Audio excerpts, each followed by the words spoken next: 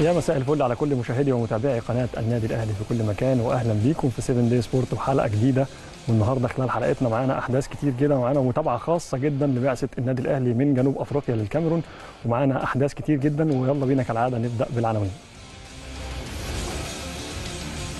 الأهلي يختتم استعداداته لمواجهة القطن الكاميروني.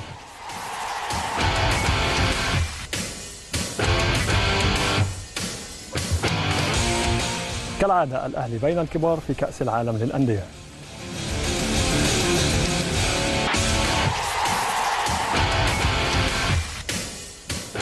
مهمة صعبة للمنتخب الأولمبي أمام زامبيا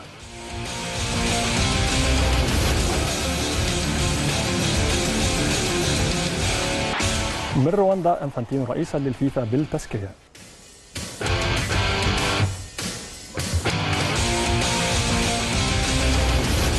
ريال مدريد ورد الجميل لليفربول في البرنابيو.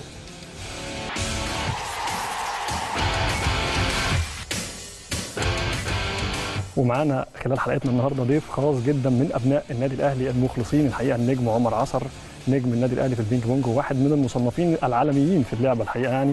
وكمان هيكون معانا أحداث تانية كتير جدا وهيكون معانا كل الأخبار بالتفاصيل ولكن بعد الفاصل. ورجعنا لحضراتكم عشان نبدأ كالعادة من عند النادي الأهلي الأهلي يختتم استعداداته لمواجهة القطن الكاميروني النهارده الأهلي بيختم الاستعداد النهائي لمواجهة القطن الكاميروني في دوري المجموعات لدوري أبطال أفريقيا واللاعبين أكيد هدفهم مصالحة الجماهير والدفاع عن كبرياء الأهلي في بطولة أفريقيا. التمرين بدأ مع بداية حلقتنا النهارده تقريبا الساعة 5 بتوقيت الكاميرون اللي هو 6 بتوقيت القاهرة وامبارح وصلت البعثة من جنوب أفريقيا إلى الكاميرون وكان في استقبالهم معالي السفيرة داليا فايز سفيرة مصر في دولة الكاميرون. والنهاردة كمان كان في مؤتمر صحفي اللي حصل اللي بيتم قبل كل مباراة يعني في السويسري مارسيل كولر ولاعب النادي الأهلي رامي ربيعة. وهنشوف أجزاء من المؤتمر الصحفي مع بعض من خلال تقرير دلوقتي هنطلع نشوفه مع بعض في المؤتمر الصحفي. لكن زي ما أنتم حضراتكم شايفين وصلت البعثة بقى لهم فترة بعيد عن بيتهم بقى لهم فترة بعيد عن النادي الأهلي بقى لهم فترة في جنوب أفريقيا ومن جنوب أفريقيا اتجهوا للكاميرون.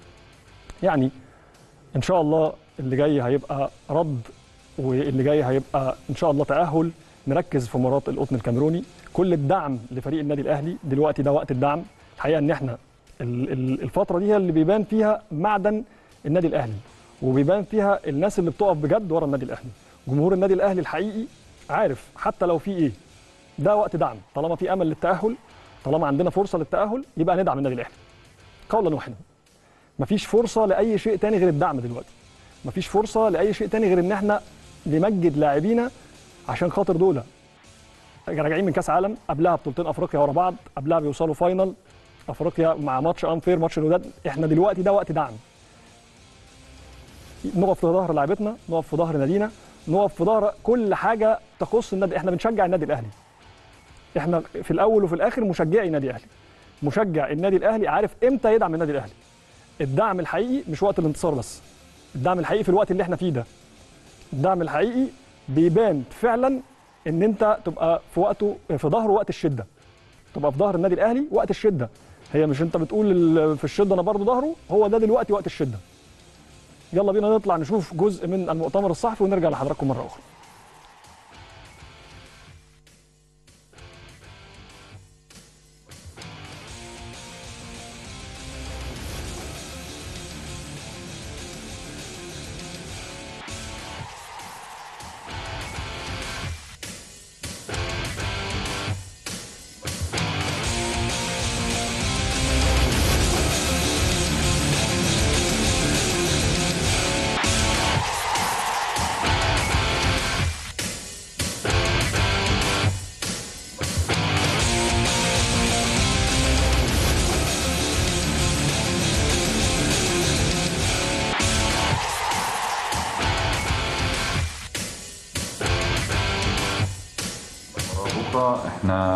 قدامنا ماتش صعب.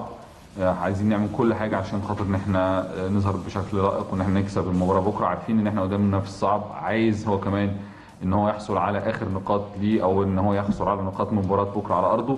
وبالتالي هيبقى المباراة صعبة علينا لكن إحنا عارفين ده وعايزين نعمل كل حاجة عشان نقدر ناخد ثلاث نقاط بكرة بإذن الله إن شاء الله. ما بتفكرش في المرحلة اللي بعديها؟ بتفكر دلوقتي في الماتش بتاع بكرة القطن We are not thinking about the next phase. We are thinking only and concentrating on the next phase.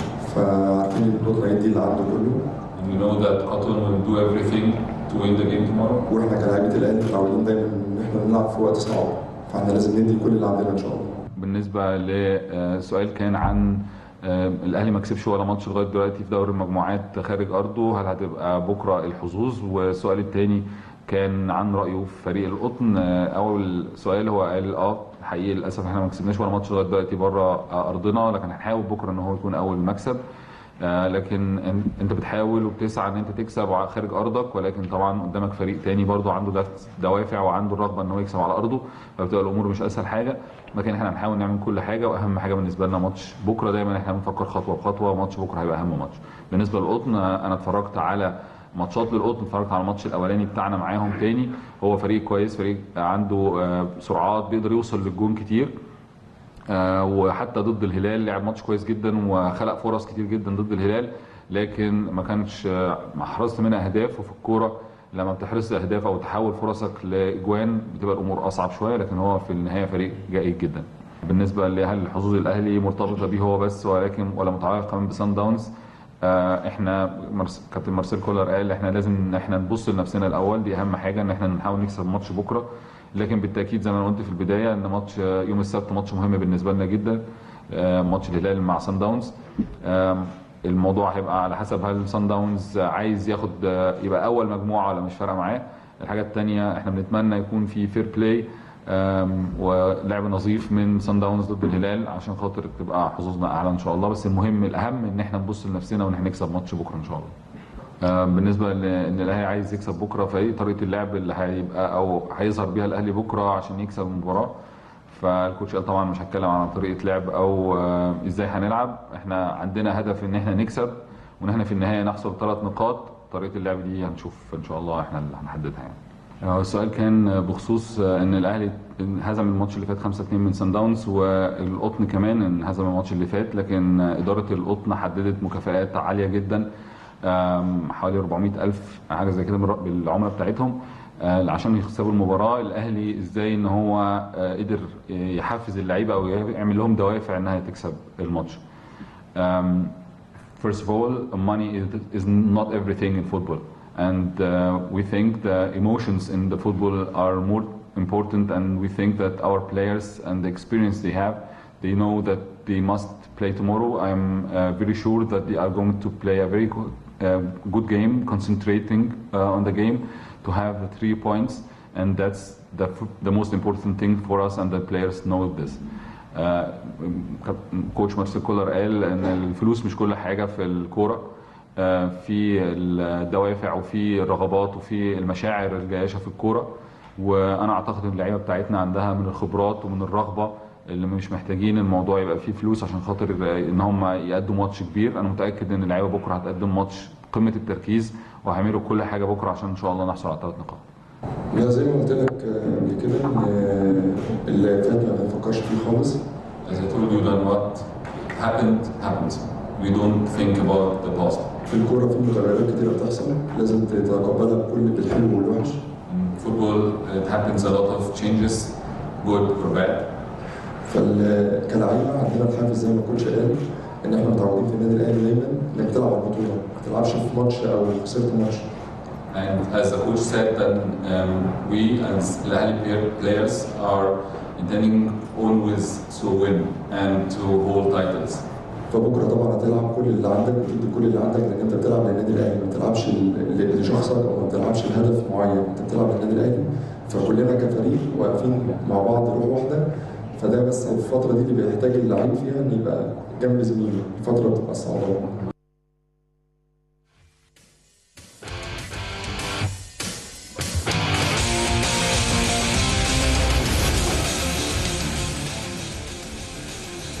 حتى لو مش هنتأهل بس لازم نكون على قدر المسؤولية وعلى قدر تيشيرت النادي الأهلي الفانيلا الحمراء. لازم الروح تكون حاضرة وأنا متأكد إن إحنا هنلعب على المكسب.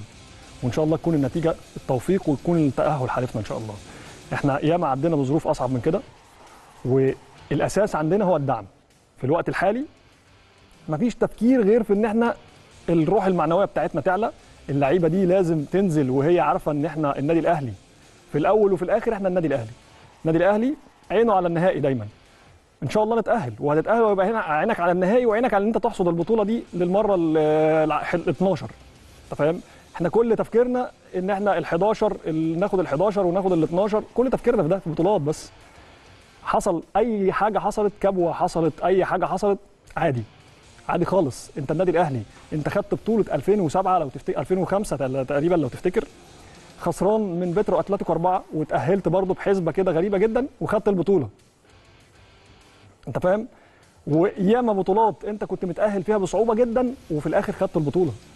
وياما بطولات كنت أنت المنافس اللي يعني الناس بتقول ده اتاهل اخ آخر واحد متأهل وبتاع وفي الآخر خدت البطولة برضه. بتحصل وعادي جدا وأنا يعني إن شاء الله إن شاء الله هفكركم إن إحنا إحنا دلوقتي تفكيرنا في ماتش الأهم بالنسبة لنا ماتش القطن الكاميروني نكسب ماتش القطن الكاميروني يوم السبت بقى حسابات دي في حسابات كتير جدا ممكن تحصل وممكن يحصل حاجات أنت ما كنتش متخيلها أصلا. الهلال ممكن يخسر سان داونز ممكن تتعادل مع الهلال. في حاجات في حسابات كتير جدا. أنت تفكيرك كله في ماتش القطن الكاميروني فقط لا غير. هنكسب إن شاء الله الماتش ده. آه، روح اللعيبة وروح ال- النادي الأهلي روح الفانيلا الحمراء والأسلوب بتاع إدارة النادي الأهلي. كمان مع القيم بتاعتنا ومبادئنا اللي إحنا ما بنتنازلش عنها لا هنكسب. في أي وضع هنكسب. ايا كانت الظروف اللي إحنا فيها السفرية الطويلة اللي من جنوب أفريقيا للكاميرون والكلام ده كله مش هيفرق معانا بالعكس ده حافز قوي لينا. والنتيجة النتيجة دي أكبر حافز قوي ليك إن أنت تعمل كل حاجة عشان تبقى أنت مركز أول. مركز أول مش مركز أول في المجموعة لأ مركز أول كالعادة بتاعتك عادتك إن أنت مركز الأول. المركز الأول ده مش معناه إن أنت بس تتأهل وخلاص لأ معناه إن أنت دايما عينك على ال final يعني أنا توقعي الشخصي إن كعادة النادي الأهلي أنت بطل البطولة. ما, ما, ما عندهاش حسابات بقى مش هنقعد نفكر في حسابات ومين كسب إيه وبتاع لا أنت بتفكر إن أنت الظروف بتخلق لك إن أنت بطل البطولة. هنشوف infograph عن لقاءات الأهلي مع أندية الكاميرون ونرجع لحضراتكم مرة أخرى. كعادة النادي الأهلي بقى. كعادة النادي الأهلي الأهلي بين الكبار في كأس العالم للأندية. ده خلاص أصبح العادي. الأهلي ما زال بيواصل كتابة التاريخ العالمي وهيكون موجود في أول نسخة من كأس العالم للأندية بالنظام الجديد في 2025 واللي هتكون مكونة من 32 نادي وهتكون منافسات قوية جدا. الفيفا أعلن عدد المقاعد حسب الجدول اللي إحنا شايفينه أو هنشوفه مع بعض على الشاشة لكل قارة عدد من المقاعد. كمان أعلن ضمن آه، المقاعد دي تسع أندية مشاركة ال- ال- ال- التسع أندية الأوائل اللي هتتأهل أو اللي خلاص شبه مشاركة يعني أولها النادي الأهلي. هنشوف مع بعض على الشاشة الكلام ده. أولها النادي الأهلي بطل بطولة أفريقيا 2021 زي ما أنت حضراتكم شايفين أهو. أدي المجموعات أوروبا 12 فريق أمريكا الجنوبية ست فرق أفريقيا أربع فرق آسيا أربع فرق وأمريكا الشمالية والوسطى والكاريبي أربع الكاريبي أربع فرق. وأوكيانوسيا هتبقى فرقة واحدة طبعا دي ال- ال- الكعادة يعني. والدولة المضيفة هتبقى فريق واحد أيضا. ده كده عدد الأندية المشاركة وعدد المقاعد ال 32 في 2025 نشوف بقى الأندية اللي ضمنت التأهل مع بعض كمان على الشاشة لأن النادي الأهلي أول نادي ضامن التأهل. زي ما حضراتكم هتشوفوا دلوقتي معانا على الشاشة أهو.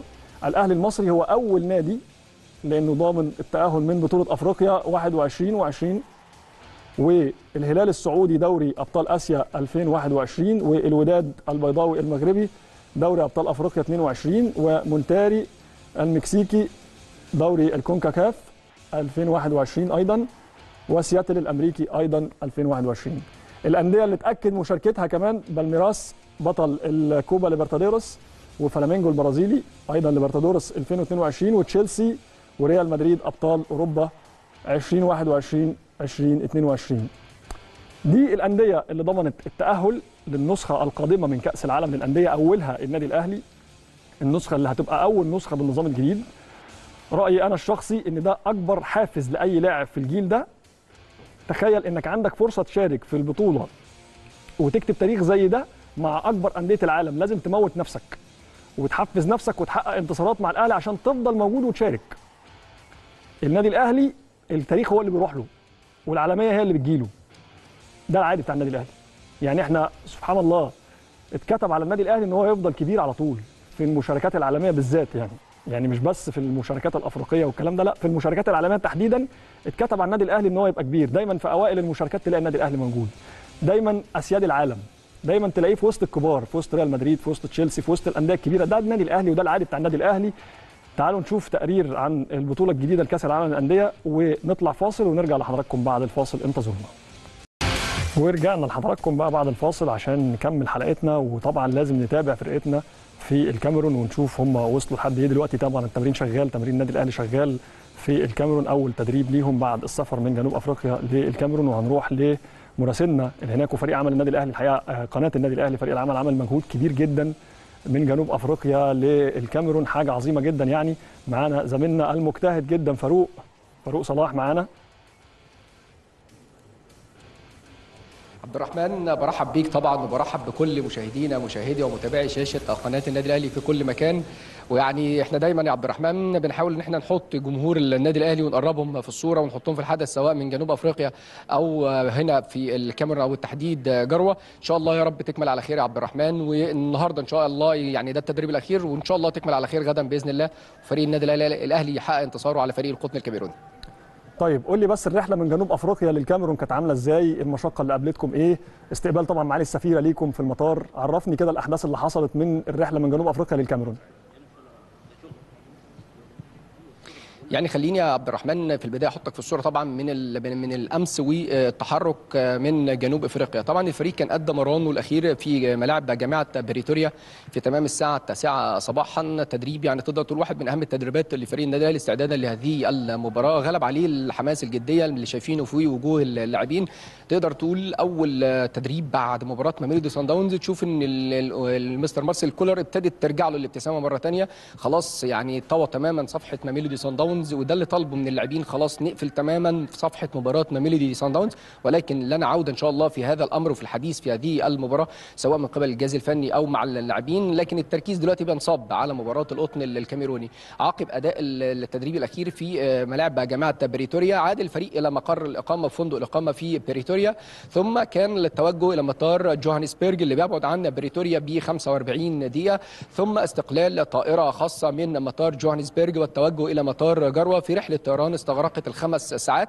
طبعا كان الوصول بالأمس في تمام الساعة التاسعة والنصف بتوقيت الكاميرون العاشرة والنصف بتوقيت القاهرة. طبعا مصر بتتقدم في التوقيت عن الكاميرون بساعة فبالتالي كان الوصول إلى مطار جروة. كان في استقبال يعني بعثة فريق النادي الأهلي معالي السفيرة داليا فايز سفيرة جمهورية مصر العربية لدى الكاميرون اللي قايمة بدور كبير جدا في يعني تنسيق وترتيب كافة الأمور. طبعا بالتنسيق مع مسؤولي النادي الأهلي الممثلة في بعثة رئيس بعثة فريق النادي الأهلي وعضو مجلس الإدارة الأستاذ طارق أنديل. رئيس بعثة فريق النادي الأهلي الكابتن سمير عدلي والكابتن سيد عبد الحفيظ التنسيق والترتيب كافة هذه الأمور. يعني عايز أقول لك إن هي واحدة من السفريات اللي بذل فيها مجهود كتير كبير جدا سواء من من قبل الأستاذ طارق أنديل والجانب الإداري في النادي الأهلي للتنسيق طبعا ما بين السفريتين ما بين جنوب أفريقيا وما بين جروة. سريعا تم التحرك من مطار جروة إلى فندق الإقامة. عبد الرحمن اللي بيبعد عن مقا... عن مطار جروة بخمس دقائق بالظبط يعني فندق من أفضل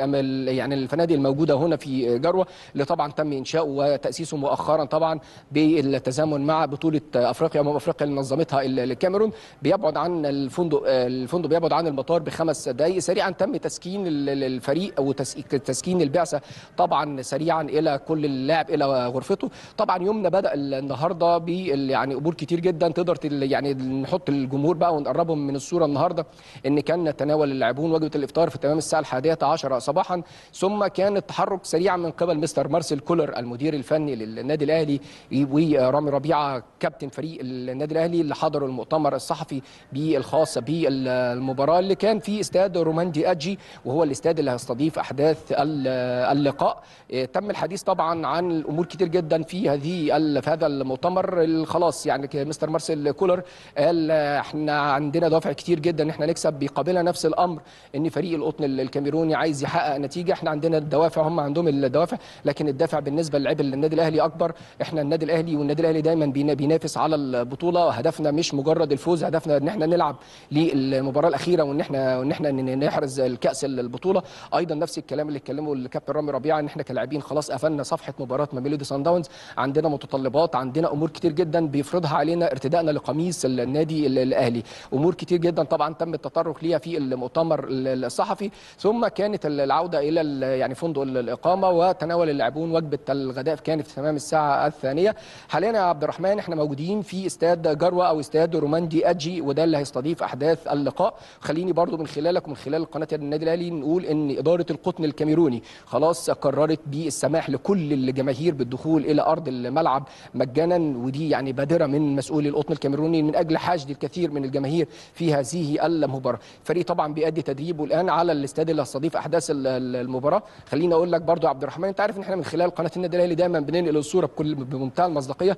درجة الحرارة حاليا في نفس توقيت المباراة أفضل من رائعة أفضل من ممتازة. نتمنى استمرار درجة الحرارة في يعني في نفس هذا المعدل غدا إن شاء الله.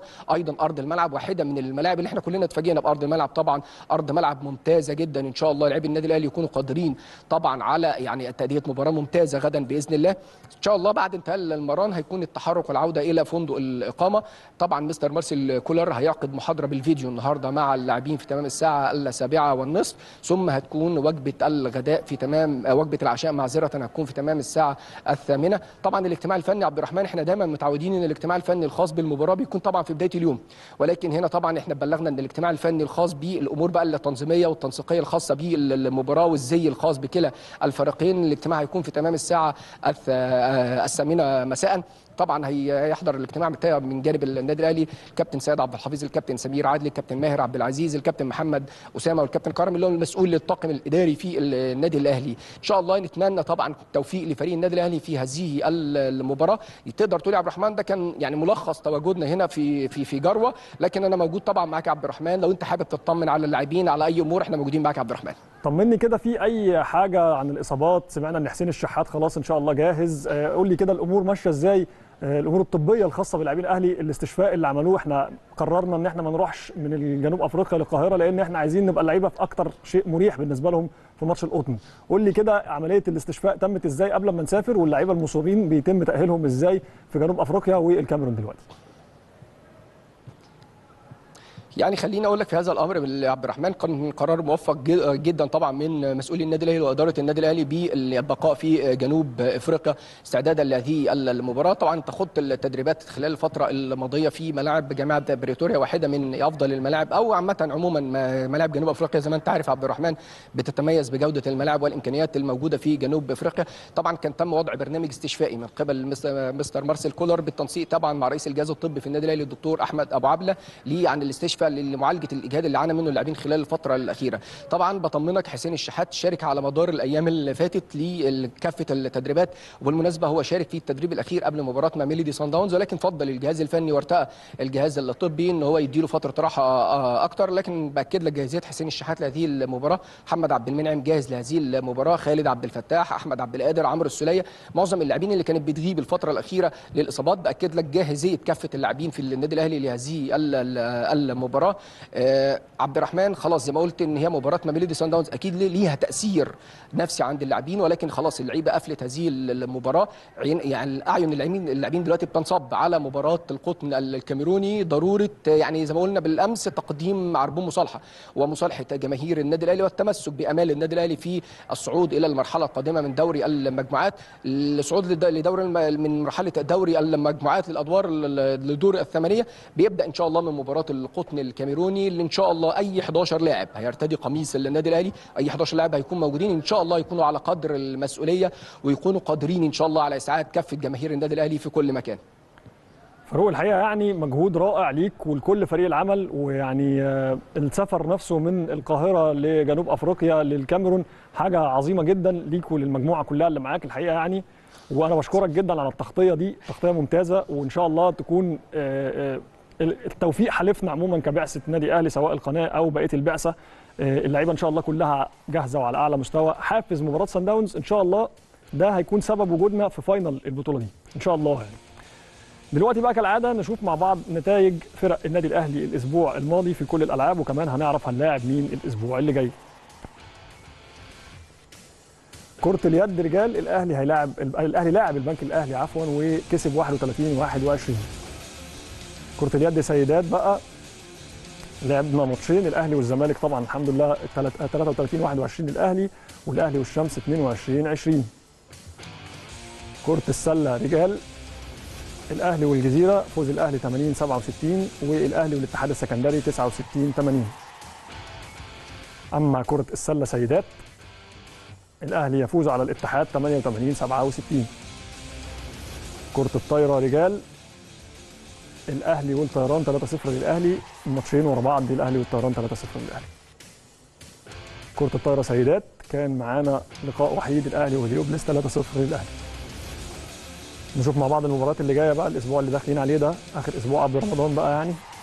عندنا كرة اليد رجال الأهلي وسبورتنج يوم 17 وكرة السلة سيدات الأهلي والبنك الأهلي يوم 17 أيضا.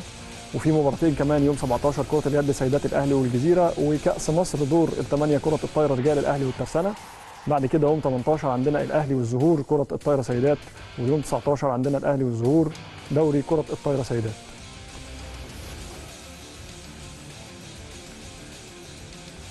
ومعانا المباريات القادمة أيضا لسه مكملين الأهلي والجزيرة دوري كرة السلة سيدات يوم 20 والأهلي وسموحة دوري كرة اليد سيدات يوم 21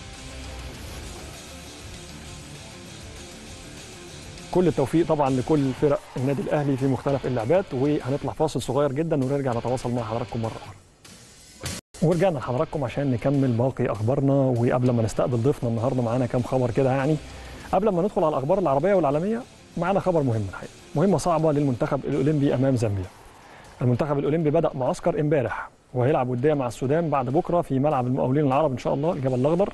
ده استعداد لمواجهة زامبيا ذهابا وايابا طبعا في تصفيات أمم أفريقيا المؤهلة للأولمبياد تحت 23 سنة واللي هتقام في المغرب المنتخب الأولمبي اللي بيقوده البرازيلي ميكالي هيلعب مع زامبيا في القاهرة يوم 22 مارس الحالي وده الماتش اللي قبل رمضان وهيسافر بعدها مباشرة لزامبيا عشان يلعب في الصيام في يوم 26 مارس مباراة العودة. طبعا نتمنى كل التوفيق لمنتخب مصر الأولمبي وأكيد هيسعى لأنه يحسم المباراة من هنا من القاهرة لأنها هتكون صعبة جدا في زامبيا في رمضان. طبعا يعني الأبعاد بتاعة اللقاء ده كتير جدا. الأبعاد خاصة في المنتخب الأولمبي أبعاده كتير جدا بعد الإخفاقات بتاعة منتخبات الشباب اللي فاتت فنتمنى التوفيق للمنتخب الأولمبي.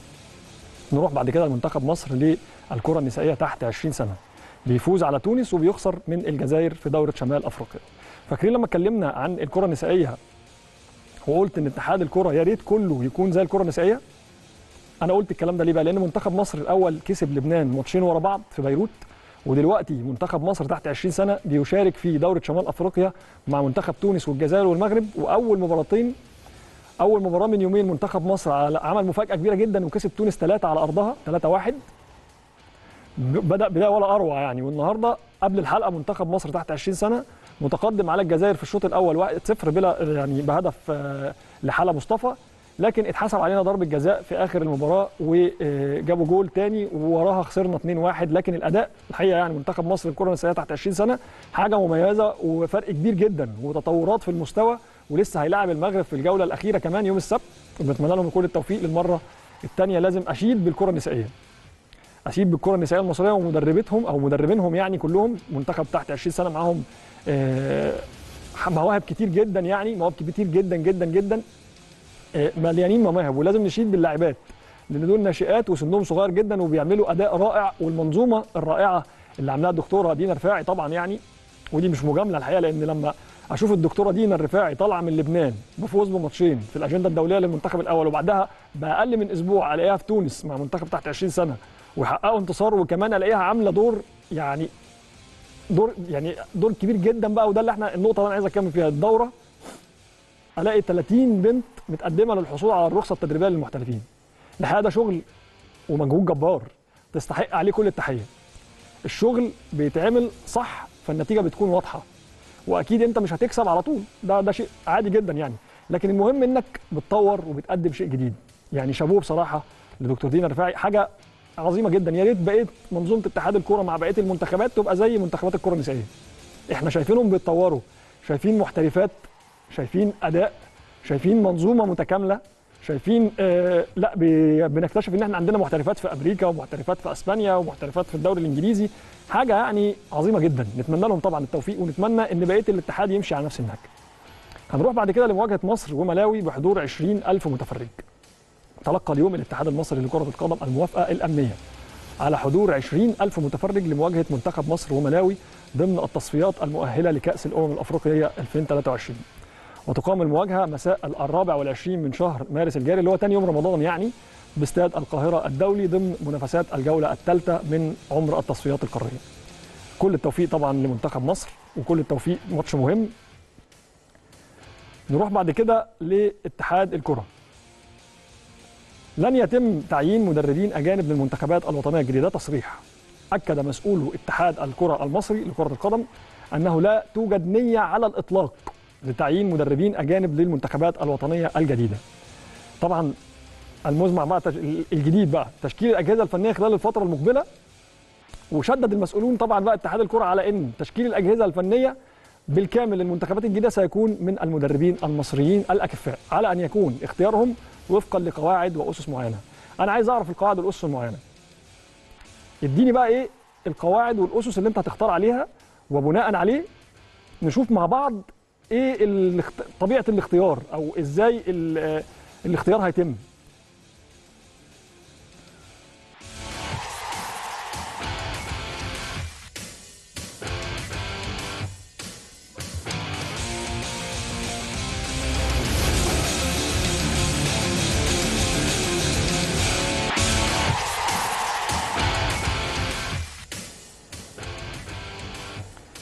طبعا نتمنى إن هم يوضحوا لنا القواعد اللي هم هيختاروا بيها الأجهزة الفنية.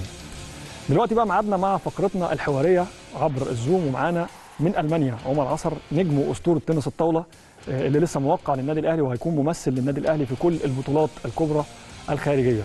عمر طبعا من الأسماء المميزة جدا. عمر من الأسماء الكبيرة جدا في عالم تنس الطاولة وفي تاريخ تنس الطاولة المصري ده راجل كتب تاريخ كبير جدا جدا جدا. يا عمر مساء الورد عليك يا عمر يا عصر يا عالمي. مساء الفل يا عبد الرحمن حبيبي.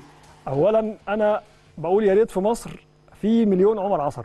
واحد شغال على نفسه دايما واحد بيجتهد دايما واحد محترف طول حياته. أنا طبعا عشان أعرفك من وإحنا صغيرين قوي أنا أعرف عمر من وأنا عندي 10 سنين تقريبا يعني. فانا عارف انت عملت إيه وتاريخك إيه الكبير اللي انت عملته وانت عملت تاريخ للعبه تنس الطاولة كبير جدا. يعني صعب حد يجي كمان بعد كده يعمل اللي انت قدمته ده. ف اولا أنا مبسوط إن أنا معاك النهارده عبد الرحمن وألف مبروك على البرنامج وأنا من متابعينه وعايز أقول لك إن كل حلقة بتبقى أحلى من اللي قبلها.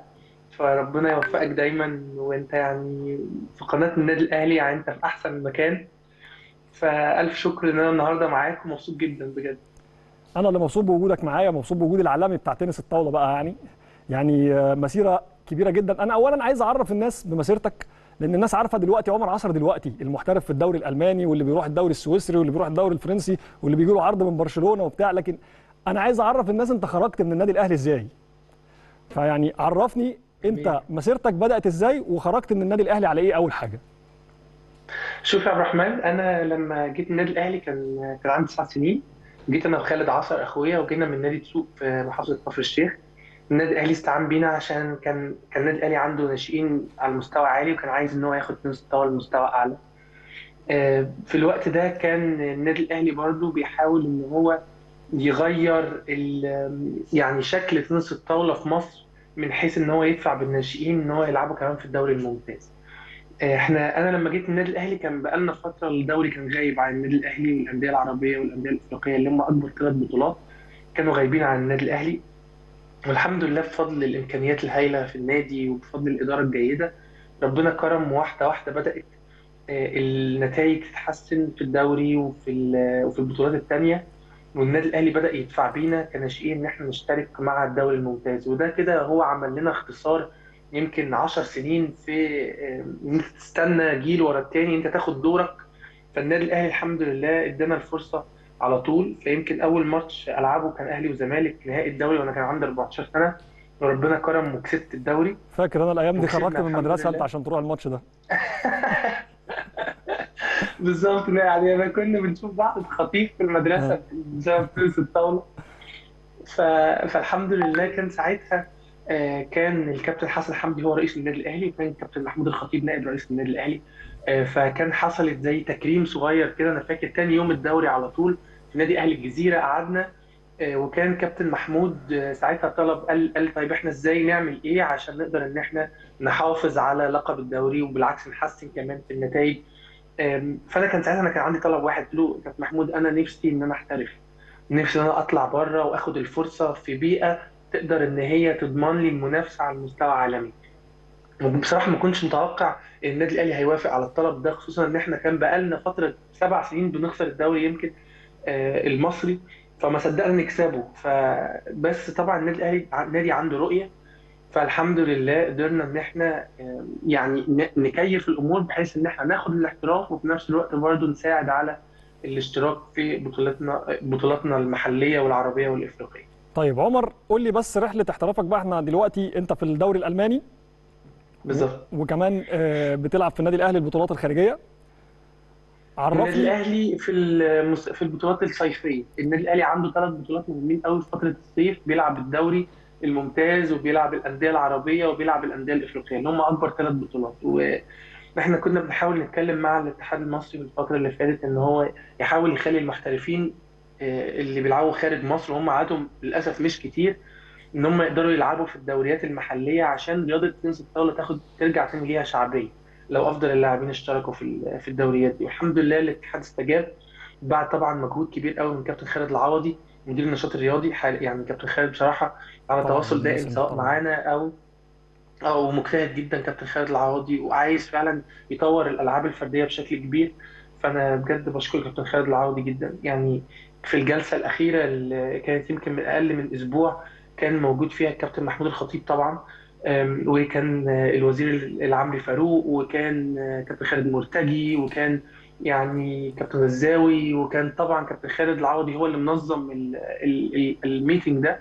وكان في سؤال واحد بس بيطرح ساعتها في الجلسة إزاي إن إحنا نقدر نخلي تنس الطاولة لعبة أكثر شعبية لعبة أكثر تطور إزاي النادي الأهلي يقدر إن هو ينظم بطولات كبيرة زي الأندية الإفريقية مثلا اللي جاية بإذن الله بنحاول النادي الأهلي ينظمها. طيب ومفيش أي حل عمر أنا بس اتفضل. عايز أعرف بس عشان الوقت آه، رحلتك للأولمبياد لباريس أنت دلوقتي تصنيفك كام؟ آه، بتسعى لإيه الفترة اللي جاية؟ عايز أعرف الصعوبات اللي قدامك عشان أنا عارف إن أنت بتعاني معاناة كبيرة جدا أنا عارفها كويس قوي ورغم كده واخد خامس في آخر أولمبياد. يعني أنت ما شاء الله لله. عليك. قول لي بقى ال- ال- الخطة بتاعتك لباريس إيه؟ الخطة لباريس إن شاء الله إن أنا أقدر آه، إن أنا يعني يبقى عندي فريق قوي من مدرب فني لمدرب بدني يقدر إن هو ياخد معايا ال- ال- الستيب الأعلى من كده أو الخطوة اللي جاية. فبالتالي إحنا محتاجين إمكانيات أكبر من كده. حاولنا إن إحنا نطرح الموضوع ده الحمد لله مع النادي الأهلي وهو بيناقش حاليا إزاي إن إحنا النادي الأهلي يقدر إن هو برضو يشارك في آه، نتيجة تكون إن شاء الله ميدالية في الأولمبياد اللي جاية بإذن الله.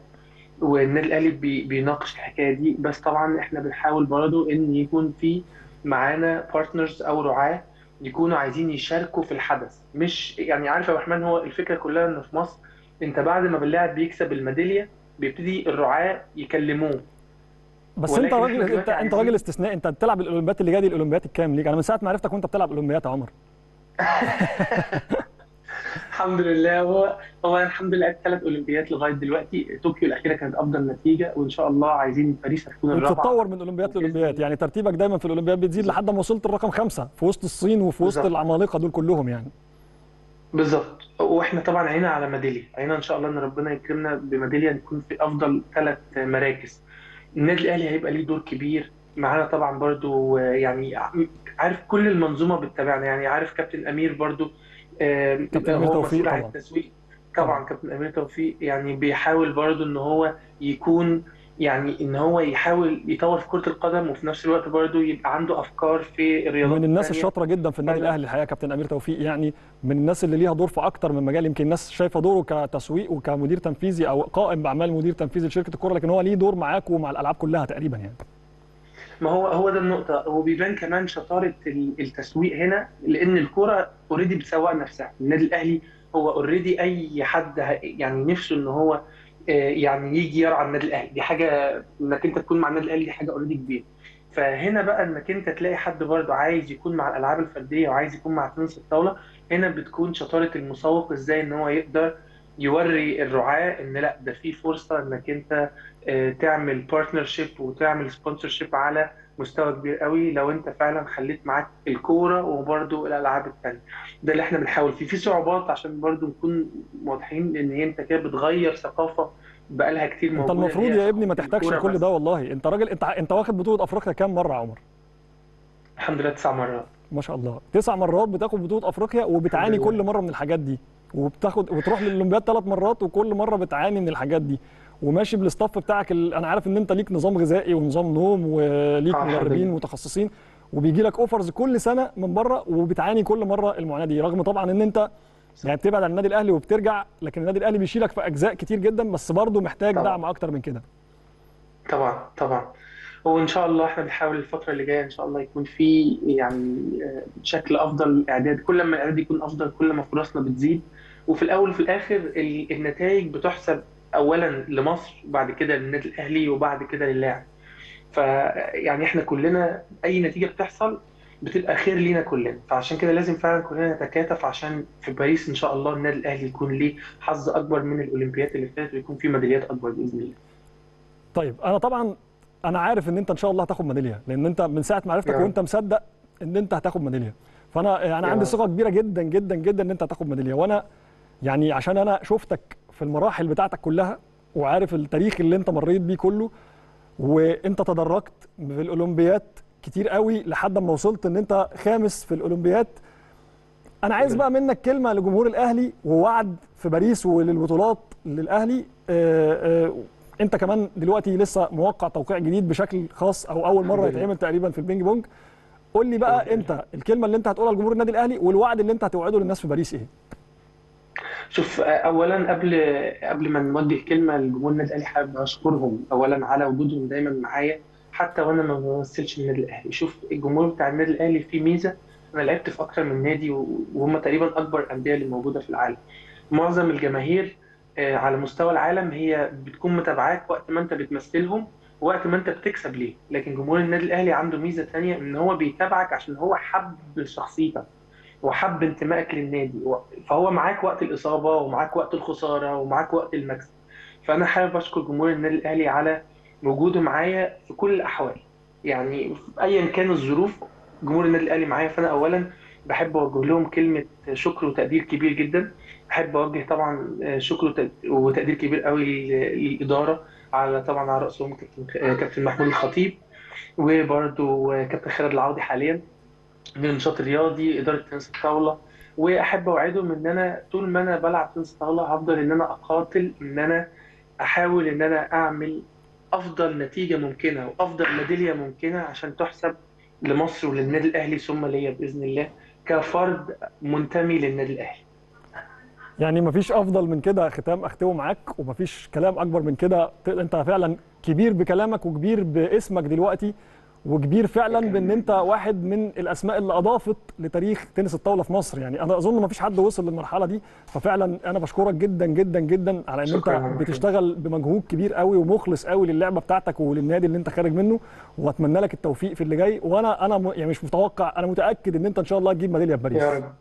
وده افضل ختام. يعني إن أنا أقول لك إن أنا مش بتنبأ لك. أنا متأكد إنك هتجيب ميدالية. أنا شاهد على ده. الحمد لله وأنا مبسوط جدا برضه إن أنا كنت معاك النهارده ويعني عشان إحنا طبعا اصحاب برضه خارج الهوا بتمنى لك كل التوفيق وكل النجاح مع النادي الأهلي وإن شاء الله دايما متفوق بإذن الله. شكرا يا عمر ليك ويعني حقيقي آه، مصر فيها ناس كتير قوي قوي تستاهل الدعم وفيها ناس كتير قوي عملت تاريخ كبير جدا في الألعاب بتاعتها. يعني إحنا عرفنا عمر عصر دلوقتي إن هو واحد من نجوم العالم في لعبة تنس الطاولة وبينافس وبيعافر في مجهود كبير جدا. عندنا في الأولمبياد اللي فاتت كان في فريال أشرف في الكاراتيه وعندنا آه، إيهاب عبد الرحمن برضو من ولاد النادي الأهلي وعندنا ناس كتير قوي في ألعاب كتير جدا جدا جدا. يعني بسنت حميده مثلا في ألعاب القوى لا في مجموعة أبطال في مصر كبيرة جدا جدا جدا ومصر ولادة جدا في الألعاب دي. فأنا يعني إن شاء الله إن شاء الله في يوم من الأيام هذيع ان عمر خد ميداليه في الأولمبياد. في يوم من الأيام إن شاء الله وأنا متأكد من ده. ده كان أفضل ختام لحلقتنا النهارده من 7 دي سبورت ونتمنى التوفيق للنادي الأهلي في مباراة بكرة. طبعا إن شاء الله يكون المباراة دي هتحطنا على تراك مختلف في التأهل والمنافسة على بطولة أفريقيا لأبعد نقطة ممكنة. دي كانت حلقتنا نستناكم إن شاء الله. إحنا آه في رمضان هيبقى في شكل مختلف لقناة النادي الأهلي فمش هيبقى في 7 دي سبورت لكن هيبقى في حاجات تانية كتير. في الختام خير سلام على أن نلقاكم إن شاء الله في أقرب وقت اقرب وقت ممكن وفي الختام خير سلام.